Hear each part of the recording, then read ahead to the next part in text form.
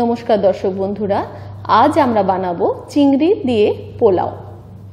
অর্থাৎ পোলাওয়ের সব উপকরণ থাকবে, সবজি থাকবে, সঙ্গে চিংড়ি মাছ থাকবে। একটা বড় মুখ চওড়া হাঁড়িতে আমি সাদা তেল এবং ঘি মিশিয়ে গরম করে নিচ্ছি। আপনারা ইচ্ছা করলে বড় সসপ্যানও করতে পারেন। যেহেতু আমাদের এই হাঁড়িটার মুখটা অনেকটা চওড়া, আমি সেটাতেই করছি। নিয়ে নিয়েছি ছশো গ্রাম ছোট ছোট চিংড়ি মাছ। আমি পুরোটাই ছাড়িয়ে নিয়েছি। চিংড়ি মাছটা আমি সামান্য ভেজে একটু নাড়াচাড়া করে তুলে নেব নেব। এবারে সেই তেলে আমি পেঁয়াজ কুচি দিয়ে দিচ্ছি। তিনটে বড় সাইজের পেঁয়াজ আমি কুচিয়ে নিয়েছি। উপকরণ আগে আমরা দেখাইনি। রান্না করার সময় সরাসরি দেখতে থাকুন। দিয়ে দিলাম অল্প নুন, অল্প হলুদ।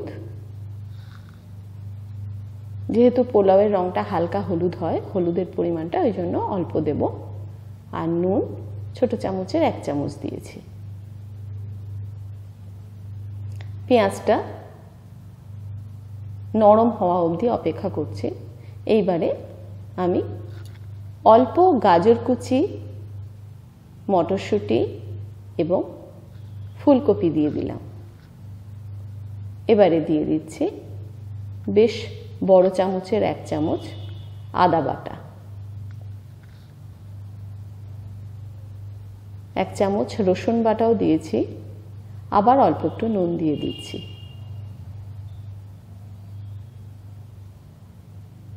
ধনে গুঁড়ো দিলাম, ছোট চামচের এক চামচ।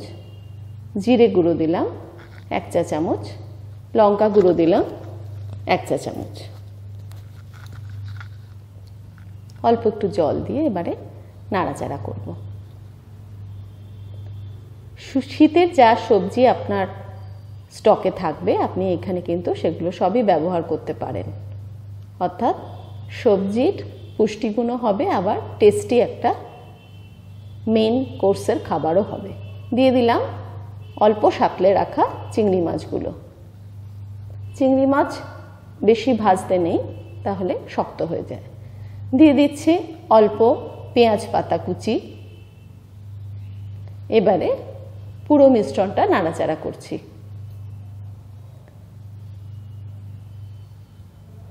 দেরাদুন রাইস প্রায় এক কিলো, আমি জলে ভিজিয়ে রেখেছিলাম চল্লিশ মিনিট। তারপরে সরাসরি এটার মধ্যে দিয়ে দিতাম। লক্ষ্য রাখবেন, আমি কিন্তু ভাত আলাদা করে মেশালাম না। পুরোটাই এইখানেই সেদ্ধ হবে। খুব সহজ পদ্ধতি। চটজলদি বানিয়ে ফেলার একটা অভিনব উপায়। কারণ আমরা কর্মব্যস্ত জীবনে সবসময় চাই চটপট মুখরোচক কিছু বানাতে। প্রায় দশ মিনিট ঢাকা ছিল, এবার ঢাকা খুলে আমি দেখে নিচ্ছি কতটা সেদ্ধ হয়েছে। দিয়ে দিলাম গরম মশলা, এক চা চামচ উঁচু করে। চিনি দিচ্ছি, যেহেতু পোলাও একটু মিষ্টি মিষ্টি স্বাদ হবে, সেই জন্য। প্রায় তিন চামচ চিনি দিলাম, তবে নুন মিষ্টি আন্দাজটা অবশ্যই আপনারা, আপনাদের রুচি মতো দেবেন, যে বাড়িতে যেরকম টেস্ট পছন্দ করে। দেখুন, আমি কিন্তু আঁচটা হাই থেকে মিডিয়ামের মাঝামাঝি রেখেছি। আবার ঢেকে দিলাম, পুরোটা সেদ্ধ হবে, আবার ঝরঝরে হবে সেই মতন। অর্থাৎ জলের আন্দাজটা আমাকে সেই মতনই দিতে হবে। দিয়ে দিচ্ছি ধনে পাতা। সবসময় খেয়াল রাখবেন, আমি যতটা চাল নেব, তার ডবল কিন্তু জল দেব।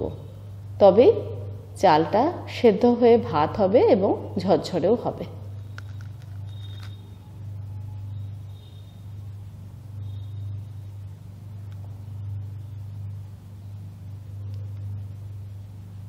আমি মাঝে মাঝে ঢাকা খুলে খুলে দেখে নিচ্ছি, যাতে জলটা পুরো টেনে গিয়ে একদম ঝরঝরে ভাত হবে